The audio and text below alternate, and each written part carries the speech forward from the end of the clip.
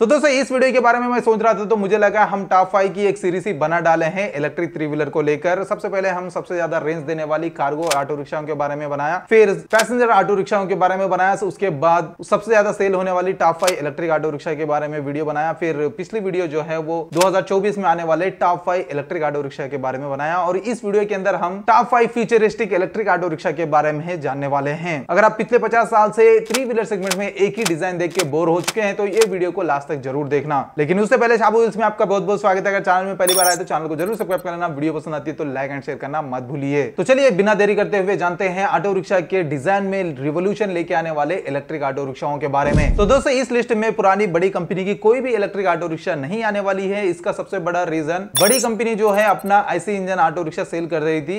Electric revolution शुरू होने से पहले तो उसके मैन्युफैक्चरिंग प्लांट में मोटा खर्चा कर चुकी है कंपनी। तो अभी नया डिज़ाइन के साथ अगर आएगी तो नया प्लांट लगाना पड़ेगा और नया प्लांट के लिए फिर से नया खर्चा करना पड़ेगा। तो इसी वजह से पुराने जो डिज़ाइन है, उसी के अंदर मोटर और बैटरी फिट करके कलर चेंज करके इलेक्ट्रिक में लॉन्च कर रही है। जैसे कि बजाज टीवीएस पियाजो महिंद्रा के ऑटो रिक्शा हमें देखने को मिल रहे हैं। लेकिन नए स्टार्टअप को यह सब दिक्कत नहीं आने वाली है। मार्केट में जो कमी है थ्री व्हीलर सेगमेंट में, उस कमी को पूरी करने के लिए नए स्टार्टअप्स अपने इलेक्ट्रिक ऑटो रिक्शा लेके आ रहे हैं और इनका बड़ा मैन्युफैक्चरिंग प्लांट वगैरह नहीं है। तो अभी ये नए डिज़ाइन को लेके आने के चांसेस ज़्यादा रहते हैं और थैंक्स टू ईवी रेवोल्यूशन जिसके वजह से काफ़ी ज़्यादा कस्टमाइजेशन के ऑप्शन देखने को मिल रहे हैं इलेक्ट्रिक थ्री व्हीलर में। डिज़ाइन के अलावा भी परफॉर्मेंस में नए स्टार्टअप्स काफ़ी अच्छा परफॉर्मेंस प्रोवाइड कर रहे हैं इलेक्ट्रिक ऑटो रिक्शा में। तो नंबर फाइव पे आती है हेक्सॉल मोटर की तरफ़ से ममोत इस इलेक्ट्रिक ऑटो रिक्शा को कंपनी ने 2023 ऑटो एक्सपो में रिवील किया है और बताया है कि जुलाई 2023 के इसकी डिलीवरी देना शुरू करेंगे और 2025 तक 20 सिटीज़ के अंदर इसको लेके आएँगे। अगर इसके डिज़ाइन की बात की जाए तो काफ़ी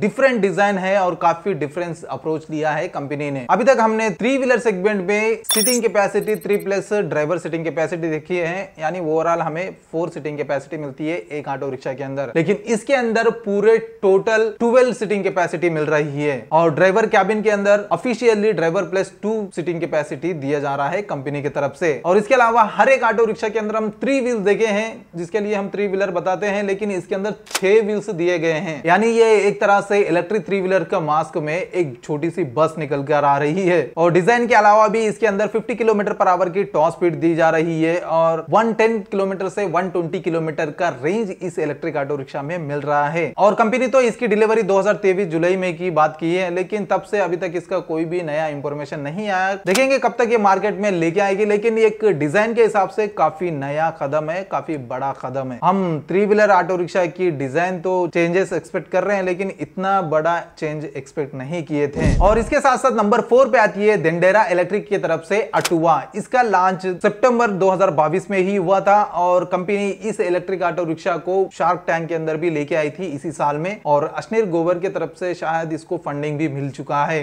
और इस ऑटो रिक्शा की अगर डिज़ाइन देखा जाए तो काफ़ी यूनिक डिज़ाइन देखने को मिलती है as compared to regular auto rickshaw और सबसे बड़ा चेंजेस इस ऑटो रिक्शा के चेसी में किया गया है। इसके अंदर मोनोकॉप चेसी को इस्तेमाल किया है। यानी रेगुलर ऑटो रिक्शा के चेसी अगर हम देखेंगे तो चेसी अलग होती है बॉडी अलग होती है, लेकिन इसके अंदर बॉडी और चेसी सब एक ही पीस से बनी हुई है और ड्राइवर कैबिन भी इसके अंदर अटैचड होने वाली है। और इस चेसी के अंदर दिक्कत यह आती है कि टिल्ट होने के चांसेस ज़्यादा होते हैं क्योंकि चेसी और बॉडी एक ही होती है तो टर्निंग के वक्त टिल्टिंग का ज़्यादा ऑप्शन यानी लुढ़कने का ज़्यादा चांसेस होते हैं तो इसीलिए इन्होंने एंटी टिल्ट टेक्नोलॉजी को इस्तेमाल किया है इस ऑटो रिक्शा के अंदर। और इसके अलावा इस ऑटो रिक्शा के अंदर ड्राइवर कैबिन में एसी का भी ऑप्शन बताया गया है कंपनी की तरफ़ से और कंपनी ने जब लॉन्च की तो इसको कार्गो सेगमेंट के लिए लॉन्च की है, लेकिन बताया गया है कि फ्यूचर में ये पैसेंजर सेगमेंट में भी इस ऑटो रिक्शा को लेके आने वाले हैं। डिज़ाइन के अलावा इसका परफॉर्मेंस देखा जाए तो 55 किलोमीटर पर आवर की टॉप स्पीड इसके अंदर मिल रही है और 165 किलोमीटर से लेकर 300 किलोमीटर तक की इस ऑटो रिक्शा को ऑफ़र किया जा रहा है कंपनी की तरफ़ से। और इस ऑटो रिक्शा की एक शोरूम प्राइस शुरू होती है थ्री लाख फिफ्टी थाउज़ेंड से। और इसके अलावा नंबर थ्री पे आती है ओमेगा सकी की तरफ़ से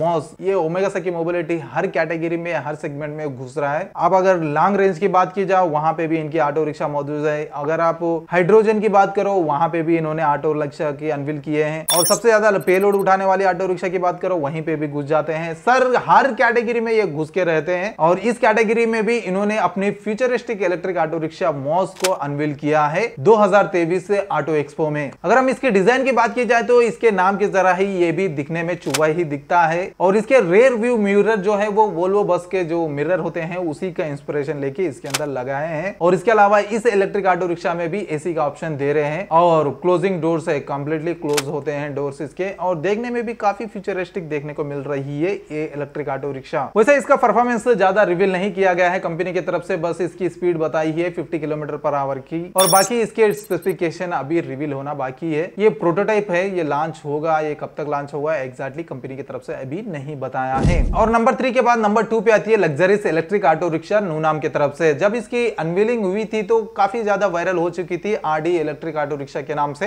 लेकिन एक्चुअली ये आरडी मैन्युफैक्चरिंग नहीं करते ही है। नू नाम नॉन प्रॉफिट जर्मन इंडियन की स्टार्टअप है। उन्होंने इस इलेक्ट्रिक ऑटो रिक्शा को अनवील किया था। इस इलेक्ट्रिक ऑटो रिक्शा में आरडी के ईट्रॉन इलेक्ट्रिक कार के जो बैटरी होती है, उनकी लाइफ खत्म हो जाती है कार में। तो उसको सेकंड लाइफ देकर इस ऑटो रिक्शा में इस्तेमाल करने के लिए इस थ्री व्हीलर की शुरुआत की थी। और ये स्टार्टअप ने इलेक्ट्रिक थ्री व्हीलर ही नहीं शुरू किए हैं। इन्होंने घर के इन्वर्टर का भी सर्विस प्रोवाइड करते हैं, घर के बैटरीज वगैरह भी प्रोवाइड किया जाता है इस कंपनी की तरफ़ से। तो इन्होंने एक नया अप्रोच लिया है इलेक्ट्रिक थ्री व्हीलर में। और इसकी अनवेलिंग 2022 जून में की थी नोनाम ने तो काफ़ी ज़्यादा वायरल भी हो चुका था। लेकिन इसका जो डिज़ाइन है, वो काफ़ी यूनिक है और काफ़ी लग्जरियस इन्होंने बनाया है। आरडी के साथ मिलकर काम कर रहे हैं तो ऑटो रिक्शा को भी थोड़ा यूनिक और नया डिज़ाइन देने की कोशिश किए हैं नोनाम ने। और नंबर वन पे आती है हीरो सर्च की तरफ़ से एस थर्टी टू इस ऑटो रिक्शा ने थ्री व्हीलर का डेफिनेशन ही चेंज करके रखा है। इस ऑटो रिक्शा को टू इन वन के जैसा इस्तेमाल कर सकते हैं, लेकिन two in one three wheeler के अंदर नहीं कैटेगरी डिफरेंट होने वाली है। टू व्हीलर कैटेगरी और थ्री व्हीलर कैटेगरी दोनों के तरह इसको इस्तेमाल कर सकते हैं। और इस ऑटो रिक्शा के लिए एक नया रजिस्ट्रेशन प्रोसेस भी शुरू हो चुका है। तो एक नई कैटेगरी क्रिएट कर दिया है इस ऑटो रिक्शा ने। और इसके डिज़ाइन के मामले में भी कोई भी कॉम्प्रोमाइज नहीं किया गया है। जनरली कोई भी प्रोटोटाइप शोकेज करते हैं तो उसके डिज़ाइन में काफ़ी सारी कमियाँ रहती है। लेकिन इस ऑटो रिक्शा के अंदर कोई भी कमी देखने को नहीं मिलती है। अगर आप थ्री व्हीलर के जैसे इस्तेमाल करते हैं तो कोई भी नहीं कहेगा कि इसके अंदर एक टू व्हीलर छुपा है। अगर टू व्हीलर इस्तेमाल करते हैं तो कोई भी नहीं कहेगा कि इससे थ्री व्हीलर चलने वाला है। तो काफ़ी अच्छे चेंजेस किए हैं, काफ़ी अच्छी डिज़ाइन भी दिए हैं इस ऑटो रिक्शा में। और इस ऑटो रिक्शा को 2024 यानी इसी साल जनवरी में रिवील किया था। और रिवील के बाद ये कार्गो सेगमेंट में अपना